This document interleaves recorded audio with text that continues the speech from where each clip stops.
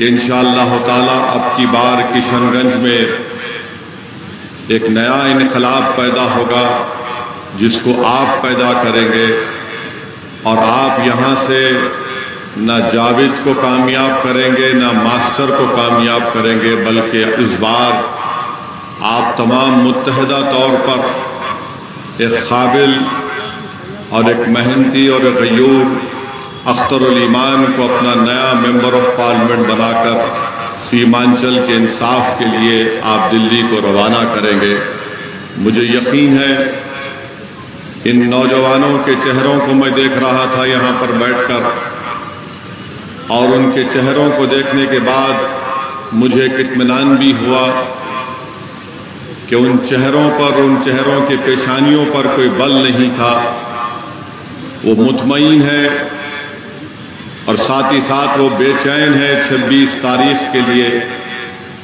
क्योंकि नौजवानों, आप जानते हैं कि सीमांचल की इंसाफ की लड़ाई अगर किसी ने शुरू की तो मजलिस इतिहादुलमसलमिन ने शुरू की।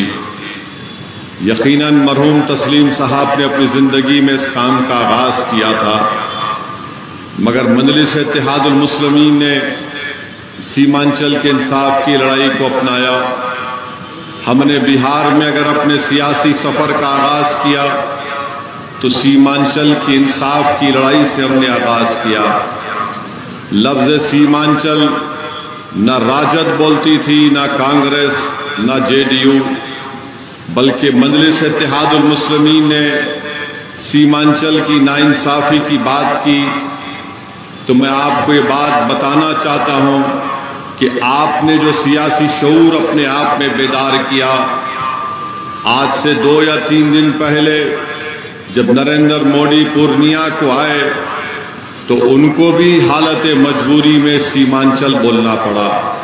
तो यकीनन, हमने पहली कामयाबी हासिल कर ली।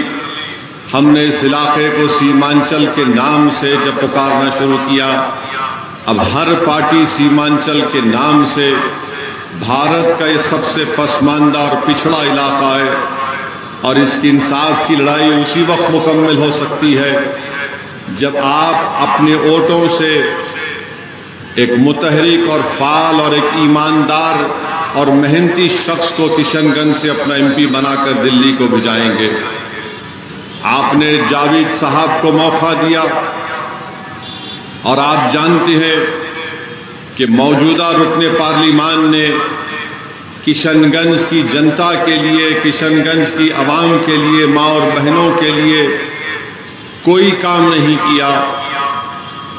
और आज भी कांग्रेस पार्टी के पास किशनगंज में कोई दिखाने के लिए कोई चीज़ नहीं है। और वही ये कह रहे हैं कि नहीं नहीं, हमको वोट दे दो। हम सेकुलर पार्टी हैं। हम फुला काम कर देंगे। एमआईएम पार्टी को मत दो, वरना बीजेपी आ जाएगी। मैं आपसे अर्ज़ करना चाह रहा हूँ कि जावेद साहब नाकारा एमपी साबित हुए हैं। ये मैं नहीं कह रहा हूँ, कांग्रेस पार्टी की एक जलसे में कांग्रेस के कुलहीन सदर जनाब खरगे साहब बैठे हुए हैं।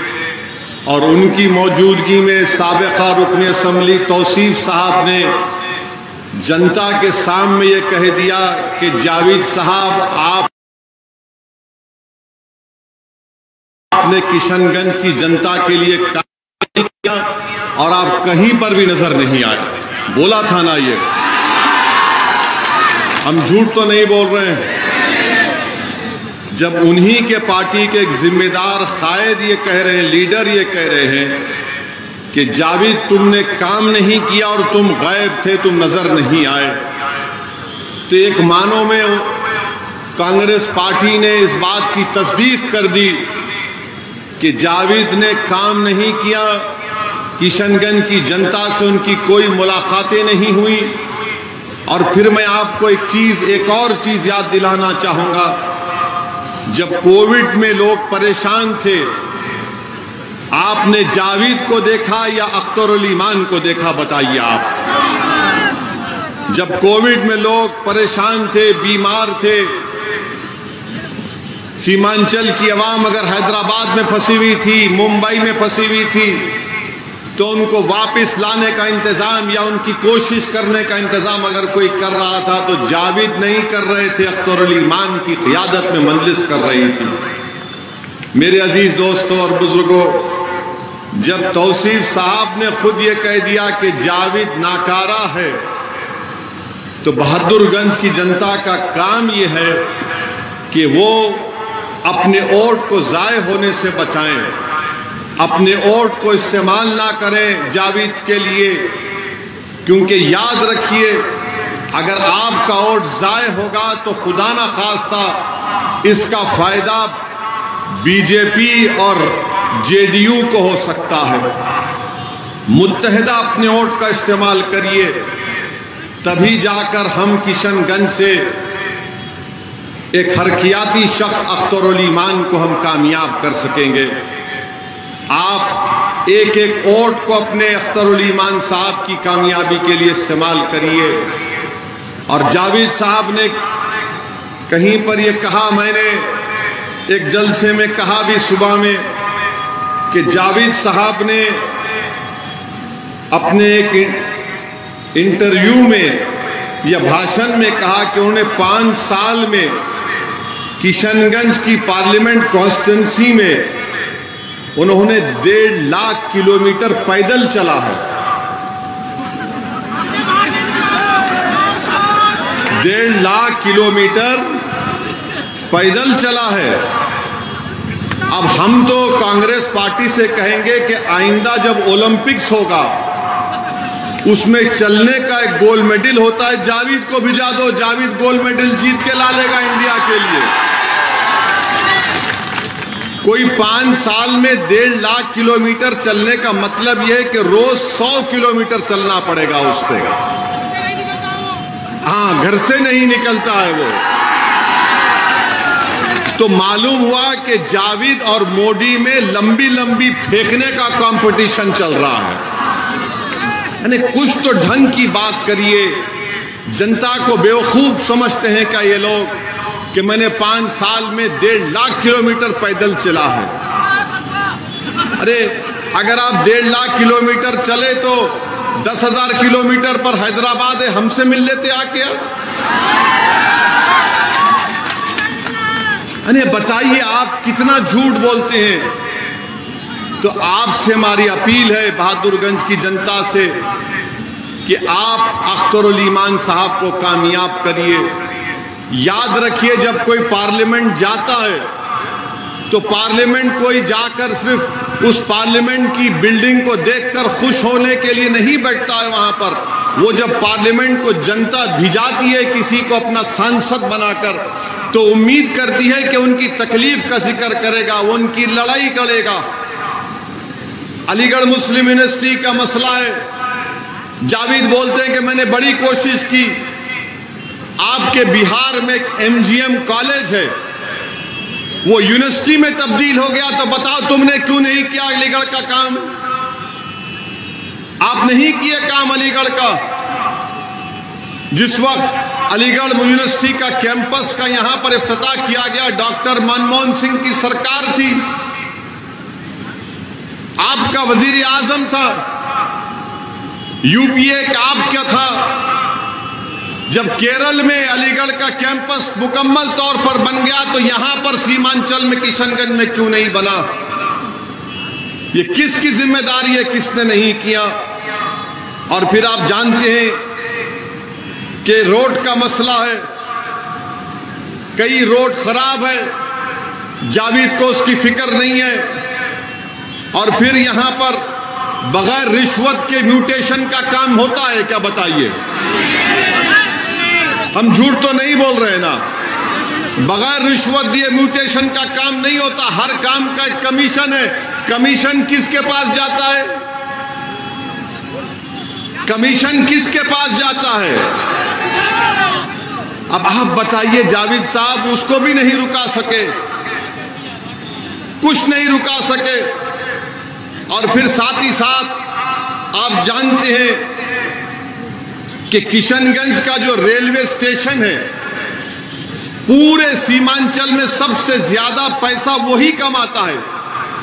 किशनगंज का जो रेलवे स्टेशन है, सबसे ज़्यादा पैसे वही कमाता है, दूसरे स्टेशनों को देखे।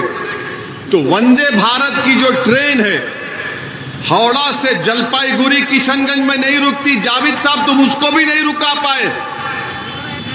अगर तुम डेढ़ लाख किलोमीटर चले हैं तो तुम 10 किलोमीटर रेलवे ट्रैक पर चल के सो जाते कि मैं नहीं जाने दूँगा? वंदे भारत को पूरे लोग निकल कर आओ। जलपाईगुड़ी से, हावड़ा से जलपाईगुड़ी ट्रेन जाती है, नहीं रुकती है वंदे भारत की ट्रेन। अच्छा जावेद साहब के घर के करीब एक रमज़ान नदी है।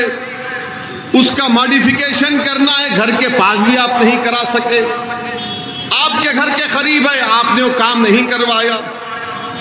और मेरे अज़ीज़ दोस्तों और बुज़ुर्गों, किशनगंज जिला बना 1990 में। किशनगंज जिला बना 1990 में। इस ज़िले में एक लाइब्रेरी नहीं है। एक लाइब्रेरी नहीं है। आप कैसे एमपी को वोट डालेंगे जो एक लाइब्रेरी नहीं बना सकता अपने पार्लियामेंट कॉन्स्टिट्यूंसी में? अपने घर के करीब रमज़ान नदी का मसला है, नहीं करवा सके। कई गवर्नमेंट के कॉलेजेस नहीं है, अस्पताल नहीं है। पाँच साल में जावेद साहब ने क्या निशांदरा घाट के ऊपर ब्रिज बनाया? क्या मटियारी के ऊपर ब्रिज बनाया? नहीं बनाया जावेद साहब ने। बनाया है। बनाया, हम सही कह रहे हैं ना। फिर आप जब ये हाँ हाँ कह रहे हैं तो फिर 26 तारीख को क्या करेंगे? अब आप देखते जाइए, यहाँ बहादुरगंज के कई बच्चे भारत के कोने कोने होटलों में जाकर मजदूरी करते हैं, बर्तन साफ़ करते हैं। उसकी भी इनको फ़िक्र नहीं है। अच्छा सुरजापुरी को एनेक्सर वन में जावेद साहब ने लाया। सुरजापुरी को एनेक्सर वन में जावेद साहब नहीं लाए, जबकि तेजस्वी उन और नीतीश को उन्हें सपोर्ट कर दिया कांग्रेस पार्टी ने। अरे तुम सत्ता में थे दो साल। नीतीश ने कुलाटी दो साल के बाद मारी थी ना। तुम दो साल में करवा लेते, वो भी नहीं करवाया। अच्छा ये बताइए, बहादुरगंज को अनुमंडल का मौखफ दिलाया जावेद ने?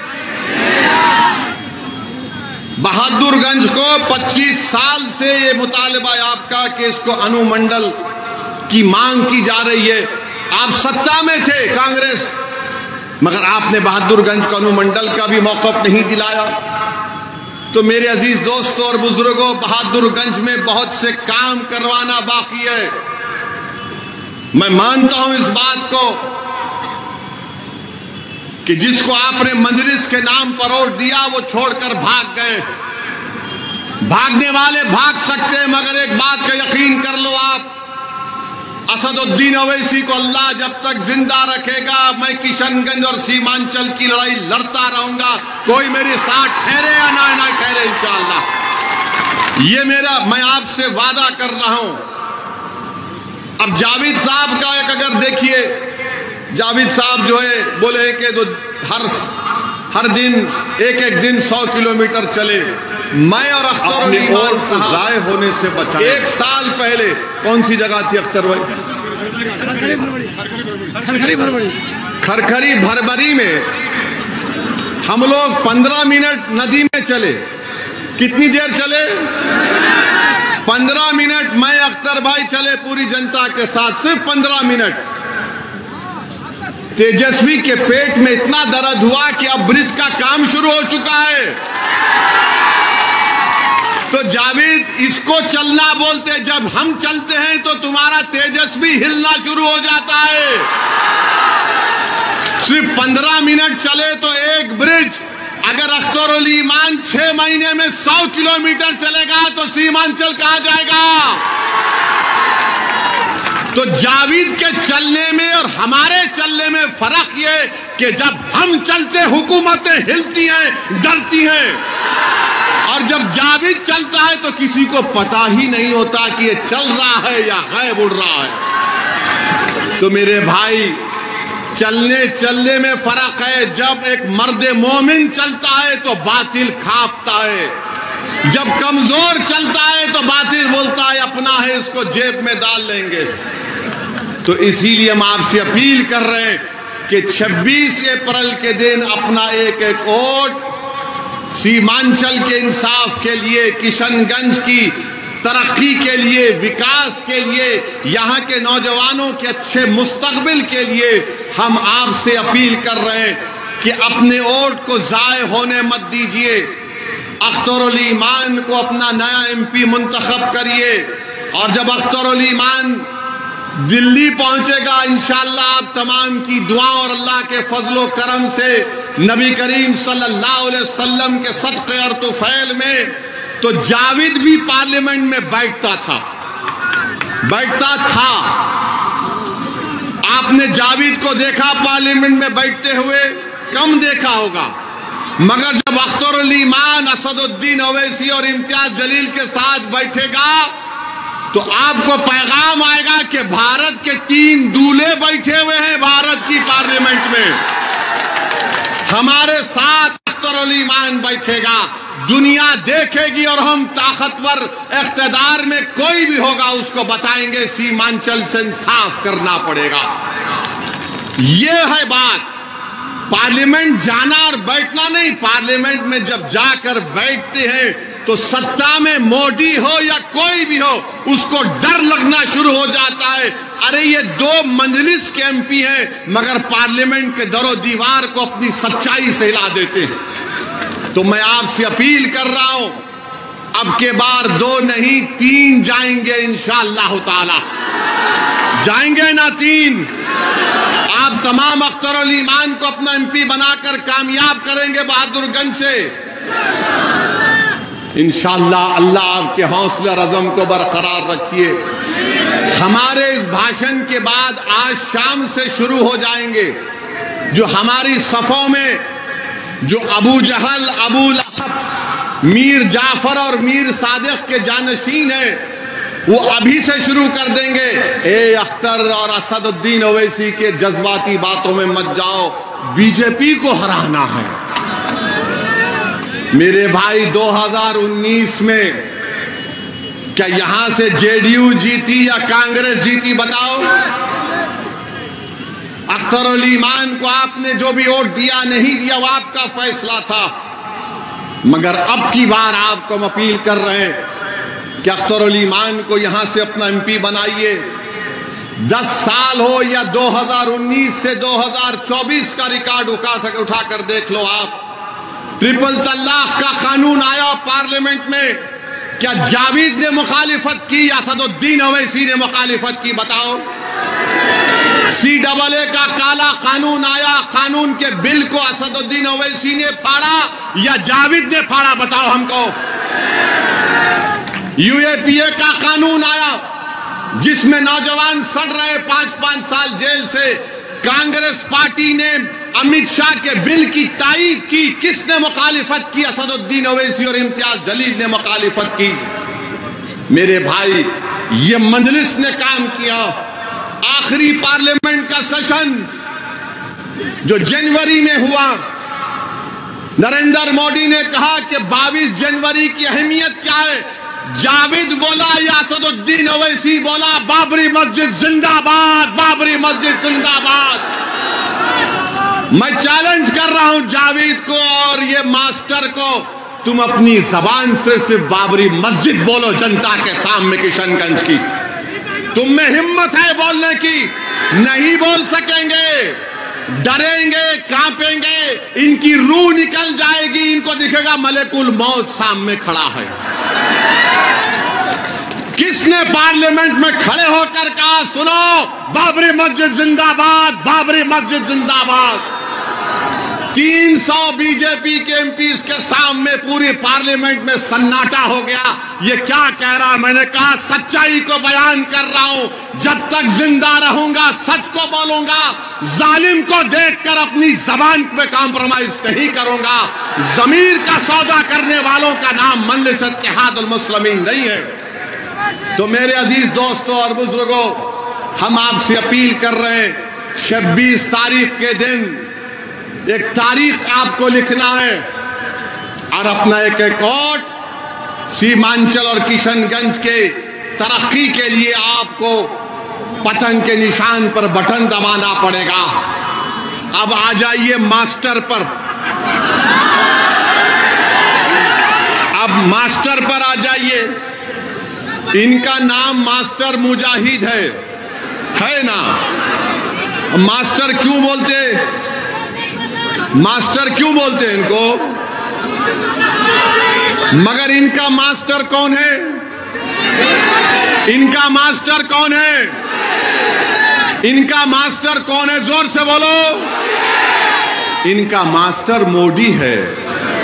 जिसका मास्टर मोदी हो और मेरा और तुम्हारा मास्टर अल्लाह है, तुम किसको और दोगे? नहीं नहीं, अल्लाह के नाम के लिए मास्टर कह रहा हूँ। वरना बोलेंगे ये मज़हब को लेकर आ रहे इनका मास्टर मोदी है। और फिर हर बीजेपी वाला कह रहा है, हम मोदी के परिवार के हैं। बोलते हैं ना। बोल, हर बीजेपी वाला बोल रहा है, हम मोदी के परिवार के हैं। मास्टर मोदी के परिवार का है, याद रखो। मास्टर मुजाहिद मोदी के परिवार का है और अख्तर ईमान किशनगंज के गरीबों के परिवार का है। मास्टर मोदी के परिवार का और अख्तरुल ईमान किशनगंज के गरीब और मजलूमों के परिवार का। जो मोदी के परिवार का है, वो ट्रिपल तलाक का कानून लाएगा। जो मोदी के परिवार का है, वो सीमांचल से इंसाफ नहीं करेगा। जो मोदी के परिवार का है, मोदी ने कह दिया कि सीमांचल में घुसपैठी घुसते हैं। घुसपैठी कौन है? आप तमाम घुसपैठी मोदी ने कह दिया, क्योंकि ये मोदी के परिवार का है। सी डबल ए का कानून, एनपीआर, एनआरसी से आएगा। अब ये मास्टर जाकर बोल रहे हैं, ज्ञान बांट रहे हैं। नहीं नहीं नहीं सी डबल ए का कानून सिटीजनशिप देने का है, लेने का नहीं है। मास्टर, तुम्हारे बाप को सामने लाकर बिठाओ और हमसे बहस करो, बोलो। सिटीजनशिप का कानून से एनपीआर, एनआरसी का ताल्लुक है। सी डबल ए का कानून, सिटीजनशिप के कानून से उसका ताल्लुक है।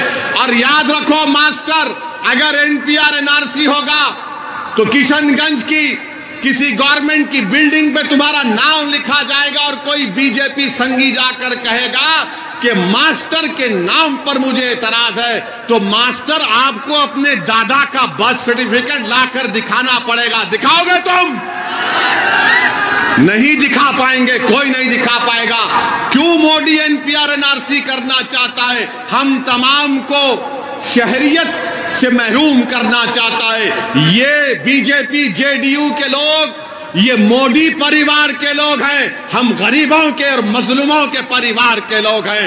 याद रखो, आसाम में एनपीआर, एनआरसी हुआ सुप्रीम कोर्ट के बोलने पर। 20 लाख लोग के नाम नहीं आए। उसमें दो लाख मुसलमान थे। मैं नहीं कह रहा हूँ। आसाम का मुख्यमंत्री हेमंत बिस्व शर्मा कह रहा है कि जो मुसलमान नहीं है उनको सी डबल ए कानून के तहत भारत की शहरियत दी जाएगी। और वो दो लाख मुसलमान क्या करेंगे? वो फॉरनर्स कोर्ट ट्राइब्यूनल में अपना मुकदमा लड़ेंगे। तो मेरे अज़ीज़ दोस्तों और बुज़ुर्गों, इसीलिए हम आपसे अपील कर रहे हैं कि 26 अप्रैल के दिन किशनगंज में आपको एक तारीख बनाना है। डरने और घबराने की ज़रूरत नहीं है। हम अगर जीत कर जाएँगे इंशाअल्लाह ताला तो 10 साल हमने बराबर फिरका परस्तियों के खिलाफ हमने वोट दिया है। हमने फिरका परस्तों का साथ नहीं दिया है, बल्कि जब नीतीश की हुकूमत बनी, उस वक्त स्पीकर का इलेक्शन हुआ तो अख्तर ईमान और हमारे तमाम एम ने राजद का साथ दिया था दिया था ना अख्तर भाई? स्पीकर के इलेक्शन में, डिप्टी स्पीकर के इलेक्शन में। मगर मैं क्यों कह रहा हूँ अख्तरुल ईमान को कामयाब करो। मेरे भाई, आपकी आवाज़ कौन बनेगा? क्या तुम जावेद को अपनी आवाज़ समझोगे, मास्टर को अपनी आवाज़ समझोगे, या अख्तरुल ईमान को तुम अपनी आवाज़ समझोगे? फैसला करो। बताओ, तुम्हारी आवाज़ कौन होगा अख्तरुल ईमान होगा, या जावेद होगा, या फिर मास्टर होगा? अख्तर ईमान आपके दिलों में छुपे हुए जज्बात को अपनी जबान पर लाकर, बातिल ताकतों के ऐवानों को हिलाकर रख देगा और कहेगा सीमांचल से इंसाफ होगा, किशनगंज से इंसाफ होगा। पाँच साल में ये कुछ नहीं बोल सके। कुछ नहीं बोल सकते ये पार्लियामेंट में। अरे हमारा भाषण होता तो बैठकर सुनते हैं जावेद।